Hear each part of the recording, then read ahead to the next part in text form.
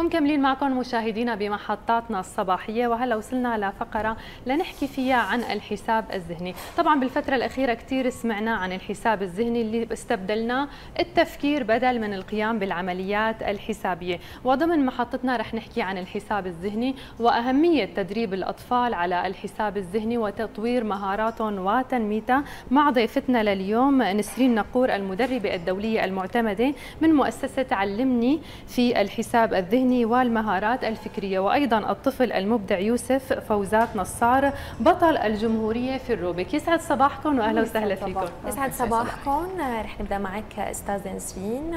يعني بمحطتنا الصباحية الماضية كنا عم نحكي عن مؤسسة علمني وقد إيه هي فعلا عم تدعم اليوم الأطفال بمجالات مختلفة لتساعدهم. طيب خلينا اليوم نحكي مع حضرتك شو أهم التدريبات اللي عم تقوموا فيها اليوم ضمن المؤسسة. تمام. هلا بداية خلوني أعرف آه، شوي مصطلح بسيط عن الحساب الذهني. الحساب الذهني هو عبارة عن مهارات عقلية يقوم بها الدماغ البشري بمفرده دون استخدام أي وسيلة مساعدة. فنحن بالمؤسسة في آلية منظمة للعمل بإتقان بمهارة بخبرة عالية لحتى نوصل المعلومات بشكل إبداع للطفل ونوصله للمراحل المستويات المتقدمة. خلينا نحكي شوي أكثر عن المسابقات اللي كنتوا فيها. هلا نحن بمؤسسة تعلمني في عندنا مسابقات آه، سنوية. كل سنة بيكون في مسابقات بيشتركوا فيها الأطفال آه، من جميع المحافظات السورية. آه، كان في عندنا ب 30 الشهر الماضي مسابقة كانت بالتاون سنتر. اشترك فيها جميع أطفال سوريا. والطفل هلا بيحكي لكم عن حاله. أكيد. يوسف أخذ بطل جمهورية بحل مكعب الربك ما شاء الله. يوسف خلينا نتعرف عليك على عمرك على دراستك. إمتى بلشت تتعلم الحساب الذهني. آه نعم. أنا طالب بمدرسة المتفوقين آه عمري 14 سنة. فيك. آه بلشت اتعلم المكعب آه، تقريبا من شي سنة وشوي. آه كان بالنسبة لي كثير آه، فيه أسرار غامضة وكان عندي شغف تعلمه واكتشف أسراره وجميع خوارزمياته. ايمت بلشت يوسف؟ أه بلشت بتعلمه تقريبا من آه، صف السادس. يعني من شي تقريبا شي سنتين. تمام. أستاذة نسرين خلينا نوضح اليوم أي عمر من الأطفال اليوم تستقبلوا آه، بمؤسستكم لحتى تعلموهم اليوم الحساب الذهني؟ تمام. هلا نحن بنستقبل الأطفال من عمر أربع سنوات مفتوح البرنامج لعمر 18 سنة. آه طبعا كل طفل بنحدد مستوى والليفل اللي مناسب له لحتى يقدر يمشي معنا بكافة المستويات. خلينا نرجع لعندك يوسف. قديش اخذ معك وقت هذا آه ممكن إنك هيك تشتغل أنا أنا ماني شاطرين بالحسابات أنا وهايدي ما بعرف مثلي. تعطيوني خربطوا لك اياها تفضل. شو رأيك؟ لا هلا رغم هيك هي كمان مخربطة يعني لسه أكثر من هيك. شو بدك قد إيه أكل معك وقت التدريب؟ آه تقريبا من 18 ل 21 ثانية. مين ساعدك وشجعك بهي القصة؟ آه الموضوع بلش إنه بالمدرسة كان زملاء كثير منتشر عندنا المكعب حلو. آه بعدين يعني حاولت إني بلش اتعلمه عن طريق النت بس كانت المعلومات غير كافية وواضحة 100% فلجأت إلى المدرب نسرين كان لها كثير دور مهم. تعلم جميع المهارات اللازمة لي. الحمد لله بعدين إنه قدرت إني اشارك بالبطولة وآخذ مركز يلا خلينا نجرب لك. تفضل يوسف. أنا على فكرة يمكن كثير أطفال بيجيبوا لها مجرد لعب بس ما بيعرفوا أو ما بس قبل قد إيه بدك وقت؟ تقريبا 20 ثانية. 20 ثانية يلا.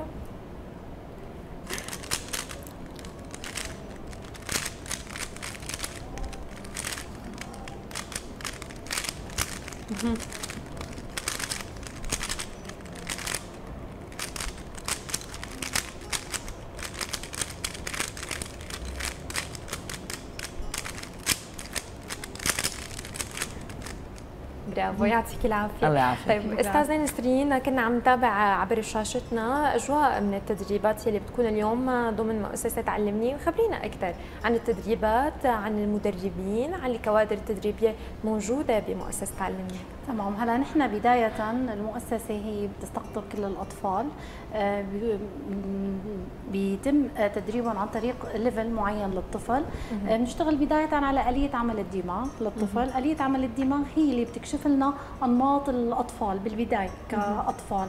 آه، نتعرف على شخصياتهم أكثر. يعني نحن في عنا أطفال في عنا الطفل الخجول في عنا الطفل تلاقيه مشاغب طفل انطوائي ويوسف شو؟ ما شاء الله المجتهد جدا. إيه ما شاء الله. إيه شطور ومجتهد جدا. فلما بنشتغل على بداية آلية عمل الدماغ هي اللي بتعطينا فرصة لنتعرف إنه نحدد شخصية كل طفل لنتعامل معه. نقاط ضعفه نقاط قوته خاصة برنامجنا نحن نشتغل على ثقة الطفل بنفسه. تمام. تماما. آه بعدين في عندنا مدربين نحن بيتم تدريب مدربين على برامج معينة على خبرات على آه طرائق ووسائل آه بإتقان كثير عالي لحتى يتمكنوا من إيصال المعلومة بشكل صحيح للأطفال يقدروا يوصلوا الأطفال للعالمية. تمام. نسرين اليوم في هل في أطفال بيعذبوا أكثر من أطفال؟ يعني ممكن الأهالي هنهم يكونوا حابين سواء بهي أو بالروبيك أو بالحساب. بيكونوا الأهالي هنهم حابين الطفل بس في أطفال ممكن تمرق معكم بيعذبوا في أطفال لا هنهم عندهم هي الهوايه أو هي المهارات. كيف بتتعاملوا مع كل مستوى؟ تمام. هلا مثل ما حكيتك أول شيء أنا لما بنشتغل على الطفل باليه عمل الدماغ نحن تعرفنا على شخصيته. إجانا هذا الطفل بغض النظر عن الخلفية اللي هو متعلمة. هلا مثل مثال يوسف مجتهد وعنده شغف كثير فبتلاقي هذا الشيء بيساعدنا بهذا الشيء. في عندنا أطفال لا جاي هي رغبه من الأهالي. هذا الشيء طبعا بيعذبنا بالتدريب لحتى نوصل معهم. يعني خاصة نحن بنعتمد على قدرات عقلية وفروق فردية. يعني في كثير أنماط مختلفة بين الأطفال. تمام تمام. يوسف خلينا نرجع لعندك. يمكن بعد ما دخلت المسابقة كنت حاسس إنك رح تفوز أم كان في هيك شعور إنك خايف تخسر؟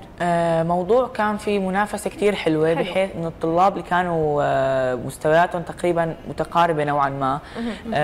أكيد كان في شعور بالخوف والتردد ولكن مع التدريب الطويل والقدرات العالية قدرت إني أحصل على المركز الأول.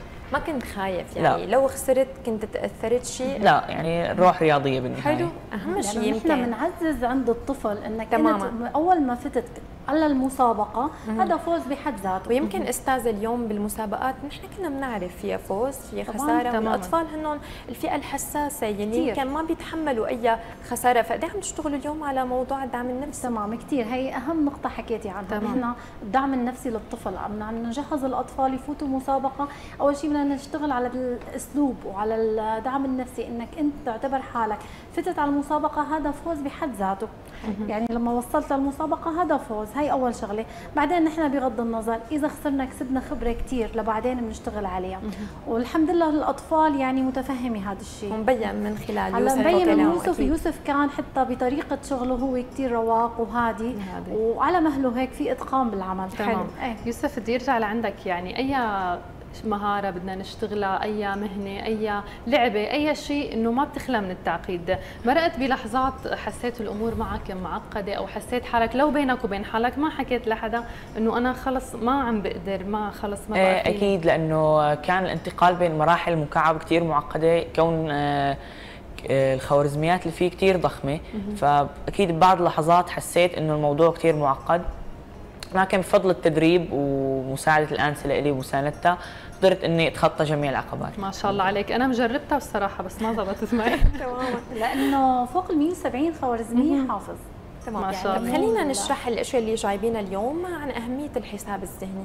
تماما. هلا نحن الحساب الذهني بيعتمد على هذا المعداد اللي نحن بنسميه المعداد الصيني.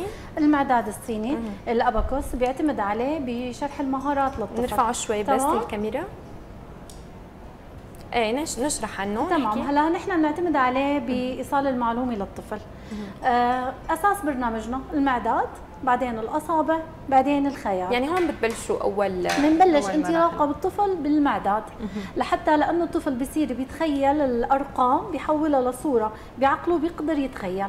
الخيال هو أساس برنامجنا. إذا نحن بنرجع للعلماء ولتاريخ العلماء العلماء أبدعوا لأنه استخدموا الخيال.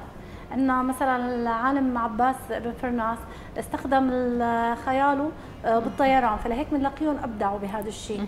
فكرمال هيك نحن حتى بنخبر هي الأطفال بهي القصص لحتى يكون في عندهم هذا الحماس. قد إيه بياخذ معكم وقت التدريب؟ خصوصا الأطفال اللي بيكونوا هن يمكن إنه في ذكرنا من شوي إنه في أطفال بيكونوا هن ما بدهم ممكن توصلوا معهم لمرحلة فعلا بيصيروا هن عندهم هي الطاقة وال والمهارات بيوصلوا لها. بس لأي قديش الوقت اللي ممكن يستغرقوا؟ تمام. هلأ نحن فينا نقول هون بدها نفس طويل بالتدريب. بدها خب... حسب كل طفل. حسب كل طفل. بدها نفس طويل من التدريب من قبل المدرب لأنه الطفل كثير بياخذ من الوقت وقت كثير بياخذ من الجهد خاصة مثل ما تفضلتي حضرتك إنه في طلاب هن ما بدهم. خاصة إذا بتخيلهم جايين رياضيات هلا هن مفكرين جاي ياخذ عندي حصة رياضيات؟ لا. نحن موضوعنا أكبر من الرياضيات. نحن موضوع مهاري. موضوع نحن عم نشتغل على صناعة عقول لحتى يصير هذا التسلية وال... تمام خاصة شعارنا التعليم عن طريق اللعب فنحن عم نصنع عقول لحتى إنت تصير تصنع الموبايلات التكنولوجيا الابتكار الاختراع. مو تخلي هي التكنولوجيا تصنعك؟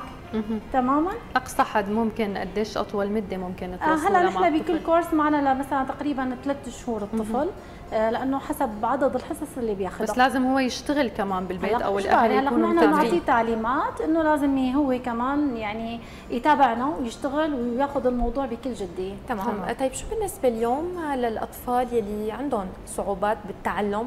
هل هن بيقدروا اليوم يسجلوا بمهارة الحساب الذهني؟ أم ممكن يعانوا من صعوبات معينة آه، موجودين عندكم اليوم بالمؤسسة كيف بتتعاملوا معه تماما. هلا كل شيء في عندنا له طريقة خاصة فيه بالتعامل معه آه، هلا في صعوبات تعلم كثير في أطفال عندها خاصة صعوبات بالرياضيات. آه، هي بتلاقي الموضوع كثير صعب عليها. هلا نحن في تدريبات معينة في مهارات معينة بنشتغل عليها لحتى أول شغلة نخليه هو عنده ثقة بنفسه. إنك أنت الرياضيات صارت ليش هيك صعب الرياضيات؟ لا الرياضيات كثير سهلة. أول شغلة بدنا نعزز ثقته بنفسه.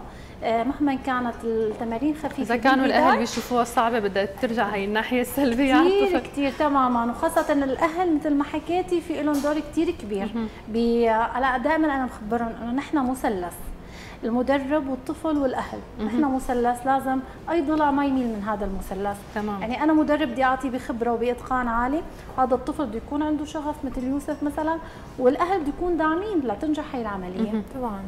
طيب يوسف هيك خلينا نعطي مثال أخير كيف ممكن يعمل الحساب الذهني. هلا يوسف ما من طلاب الحساب الذهني إن شاء الله بحلقات ثانية إن شاء الله أكيد. نماذج آه للحساب الذهني. يوسف حب المكعبات وشغفه بالمكعبات. أنا عم بحاول أيوة معه. بالمكعبات ولا الحساب تمام. الذهني؟ أنا عم بحاول معه بالحساب الذهني بس آه في أطفال شفتي شغفها وين؟ هو شغفه مكعبات. ما شاء الله هلا جايب لكم نوعين كمان إذا حبيتي. إيه، خلينا نجرب يلا يوسف خربط واشتغل. تعلم يا هاي. خطر لك تجربيها؟ لا ابدا صعبه كثير صعبة كثير جربتها بس ما يعني ضل شي 10 ساعات لحتى تثبت معي. أيوه تمام.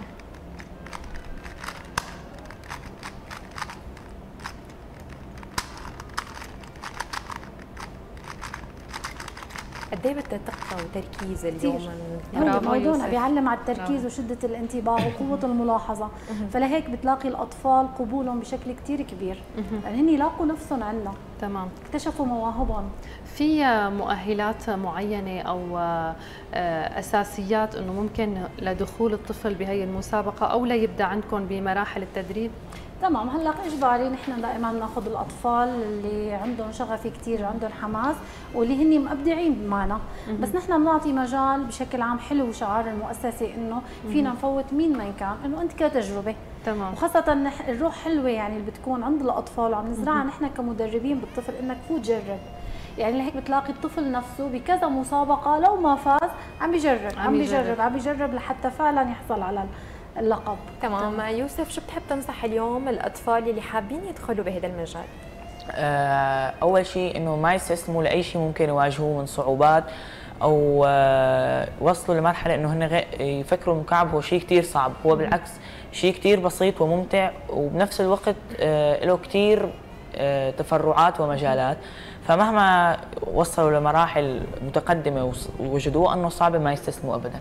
قديش مهمة هي المهارات بتعطي الطفل طاقة إنه هو مهما واجهته الصعوبات بالحياة إنه هو لا لازم يكمل ولازم يحاول ولازم يجرب. قديش مهمة هي القصص طبعا هي أهم شيء وخاصة مثل ما حكيتك في شغل الطفل عم يصقل شخصيته عنا ببرامج الحساب وبألعاب الروبيك آه هلا عم تحكي حضرتك إنه انت عم تجربي ما عم بتحاول يعني تمام. مستحيل يزبط معك مستحيل. صحي بدها أساسيات بدها أساسيات بدها كذا. فهذا طفل هي خوارزميات كلها مخربطه لما هو اشتغل وبوقت كثير قصير. عززنا ثقته بنفسه هي أساس كل شيء لأنه الطفل المحطم نفسيا وما عنده ثقة بنفسه. أول شيء اكاديميا ما بينجح. تماما. فلهيك نحن ساعدنا المدارس بموضوع ثقة بنفسه بقدر يمشي الطفل. تمام يعني بالختام بدنا نشكرك كثير نسرين نقور المدربة الدولية المعتمدة من مؤسسة علمني بالحساب الذهني والمهارات الفكرية. يعطيك العافية وشكرا لكم ولجهودكم الكبيرة اللي عم تحاولوا تساعدوا الطلاب اليوم بالحساب الذهني. وأكيد الطفل المبدع يوسف نصار بطل الجمهورية في الروبيك أكيد بدنا نتشكرك وإن شاء الله هيك بمحطتنا الصباحية القادمة بنبارك لك بإنجازات جديدة. شكرا أكيد شكرا. بدنا نتشكركم بدنا نتشكرك على دائما هذا الدعم والتحفيز اللي عم بتعطيه للأطفال. وأكيد يوسف بدنا نتشكرك ونتمنى لك مستقبل كثير حلو آه، ومتميز ونشوفك لسه بمهارات أعلى على أعلى المستويات. يا رب. بالتوفيق.